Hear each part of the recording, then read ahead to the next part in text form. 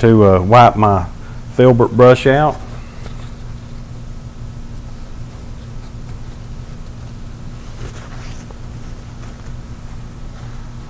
Okay. And I'm going to load it with some of that darker mixture that I have. Since these are closer, these mountains need to be with a, a darker mixture. So I'm going to add more dark to that mountain mixture that I added the uh, light to. And uh, let's go from there. Now, let's see here. Uh, about right here. Well, we don't want to cover up too much of our pretty sky that we had. So let's make these mountains, let's make one right here. See, this mountain comes way down. It drops down in there. And then it comes over this way and just kind of creeps back off like this right here. Now we're going to lose this mountain here, but that's okay. Be fine. We just was wanting to build it, so that's all that matters. Now, see how I just add this dark to it? This is, helps tell that it's closer to you. That's what that dark value's for. All right, just something like that. And we got that one. One thing you also want to do is uh, blend, make this soft back here like it's a misty area or a lake or something like that. Like this area right in here.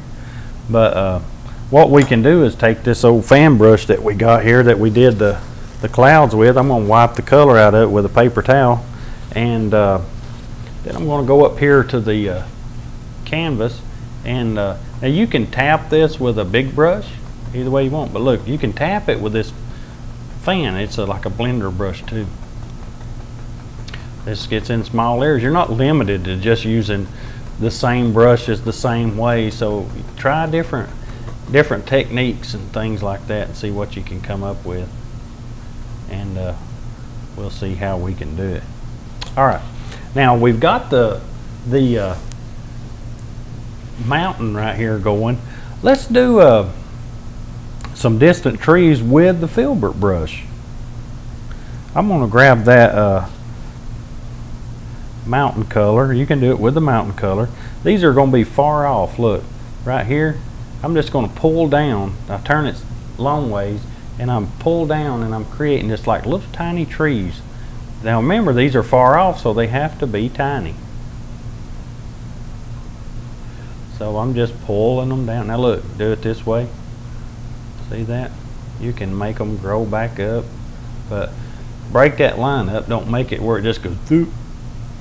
Kind of make it look interesting. See that right there? And I made that disappear right on out through there. You might be asking me why I'm doing it this way. And to answer that question is, I got all this in. If I put in another mountain, it's going to be hard to put it in there when I have it finished. So this is one easy way of doing it. So let's pull these down just a little bit, like this right here. This is going to be a reflection into the, we're going to have water. So let's just pull that down with the filbert. Now, I'm going to use that fan brush and I'm going to go gently across this. See that? Look. See there? Make it look like reflections. And I've got my trees. You wonder how to do that uh, water line. This is the way you use a knife to do the water line. You pull the paint out. I've softened it down just a little bit with some blue. And cut across, put it on top. And I'm just going to cut a line in. Now notice I'm not just going all the way across this way. I'm actually just doing this. See that? I got that. So let's go ahead and uh, you can see that that we have the uh, you can soften that a little bit with the fan brush if you want to. But we got some nice trees going and we got the the plain behind the trees right here and then we got the mountains and we got a big mountain right here. So what do we do with uh, the rest of this stuff right here? So you might be asking yourself. So um, I want to create a, a different mountain with a knife. So let's go ahead and do that one. We've got this one going.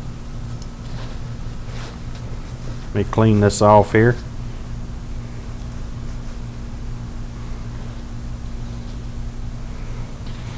All right, I'm going to get some of the uh, some of the the blue and some of the Payne's gray. I'm just mixing it on a palette right here. Is all that I'm doing right now. And uh, let's go ahead and uh, put a uh, another mountain right here. So I'm trying to think of what would be a good place. We could just put it right here in front of this one come down and bring the mountain maybe over here somewhere if we wanted to. We could do it that way. These are all different kinds of ways to do this. So the, one of the, the biggest things about painting is uh, trying to figure out where you want things to go in paintings.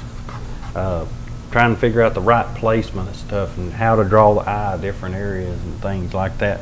I put this mountain here and it pulls you over this way so it just kind of you want to look off to the left right there because you got this object in the way. So if I put an object here, then you look through the middle. You, we're always wanting to look through things, look around stuff, just like in nature. And you look at this and recognize it for its beauty, but then you want to look into the picture. So uh, let's see what we got here. Let's go ahead and uh, put a, a little mountain right here.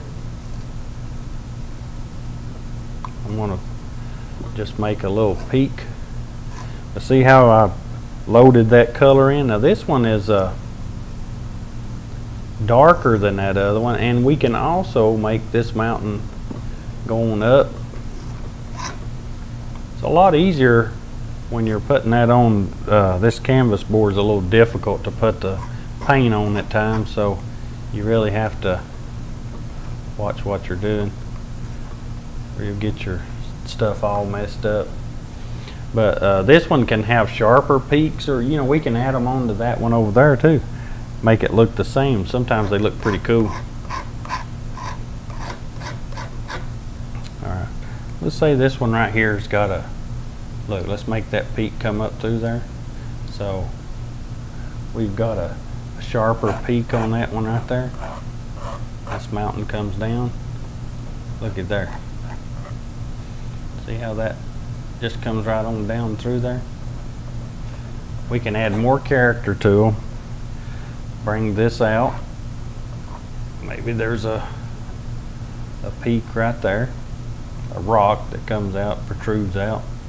And uh, by making it a little darker, it makes it where you can see it better. So I'm going to use this filbert brush to just pull some of this color out because we want to pull some of this color right straight out of there and just pull it right into the ground right like that.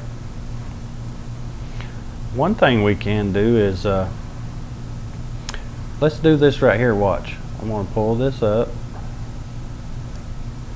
see that pull this over this way looky there create some of these areas here but I want some of them uh, sharper areas.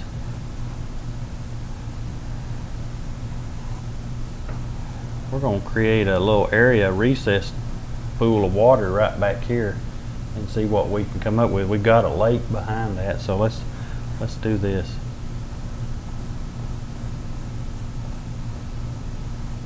All right, something like that right there.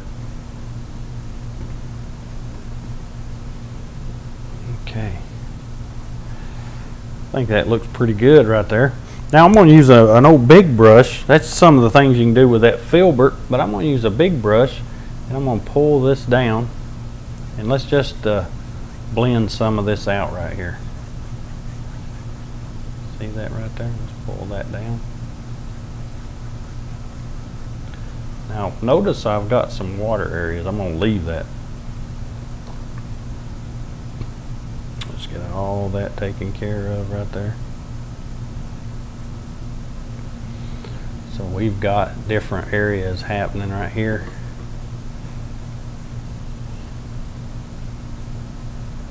All right, lay that brush down and uh, you can kind of see that we have the mountains going right here and we've got a lot of stuff going on between those mountains.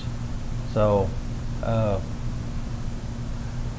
let's uh, focus on doing the, the snow right here on these mountains and putting the highlights on them. I'll show you how to do that with the knife. And you can do it with a brush or whatever, but we're going to do it with a knife this time. I'm going to show you some just the fantastic effects you can do with it. All right. I'm going to use uh, the palette knife for this, number 10 palette knife, kind of show you some of the things you can do with this. And we've almost, you know, we're doing a, a painting with the things that we've uh, learned so far and put them all together, put some of them together and uh, come up with a little thing there. Okay, so for the highlight, I've got some titanium white out here. Let me put just a little bit more out. Just make sure that I've got enough to do this with. And uh, we'll get started on that here in just one second. Remember, for now what you want to do, what I like to do is uh, take some of that color and mix up a, a uh, shadow color and a highlight color where the light's hitting. The shadow color be the being the uh, the shadow color being where the sun's not hitting. Okay, now let's go ahead and cut a roll off of where the the light is. Now remember we was talking about the light coming this way, so let's go ahead and uh, just start right here. And I'm just pulling that right down and turning the knife. Okay just like that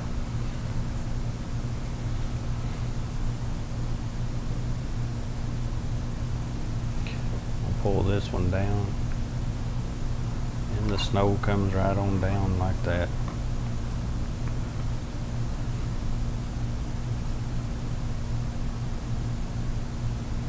and then this one will come right on down like that.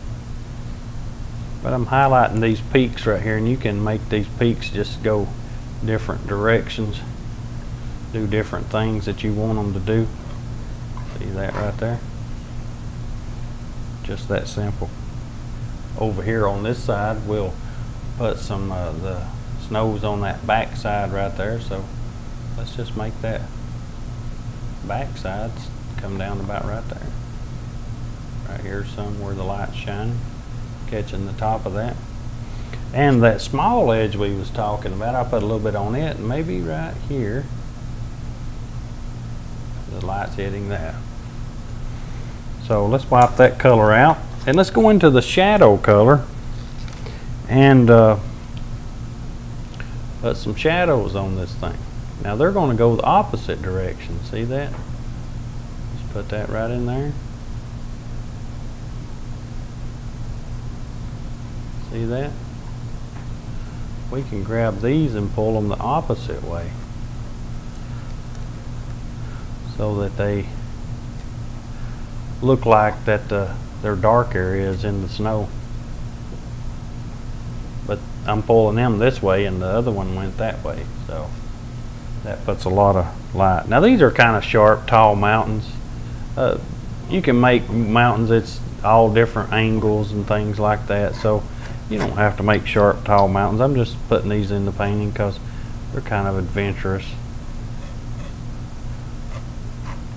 And we got something like that right there. Over here, I'm going to just turn this knife up like this and pull this down just like that.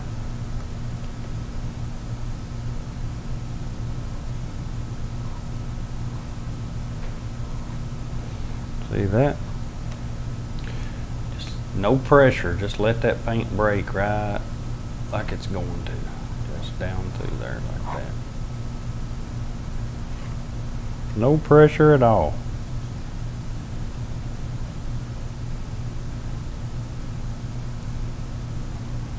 See how you can just push those peaks right back? Just that simple. But you want a lot of this area showing through these dark areas because it looks like the ground and stuff and rocks from the mountain. So it makes it look pretty cool. When you got those showing. Right. Now, kind of got a crash course in that. That uh, it's got those mountains, but let's put some trees right around the base of the mountain here and, and uh, make it look like uh, these trees are. Uh, the mountains are close to you, but we still want them to be far away, like these other mount these trees, so it looks like it's uh, uh, the altitude is right. So let's go ahead and do that now. I've done that with uh, the filbert brush. Now we can do that with, guess what? The fan brush. So let's go ahead and load that fan brush up with some of this dark color that we've mixed up at black and blue. And I'm using a very limited palette today because I want uh, uh, you'd be able to grasp this. It don't have to be done in a lot of color. We'll add a few more colors, but not too much. All right. Now, so right in here, I'm going to just kind of flick up some trees. I've loaded this brush and uh, got this going. But look how, now keep your, don't let it go with the angle of the mountain. Let these trees stand straight up because that's the way trees grow. They don't grow crooked up a mountain. They always grow straight up. So we can uh, make these trees stand straight up. Okay. I got a few of them started, but before I go any farther, it's a good thing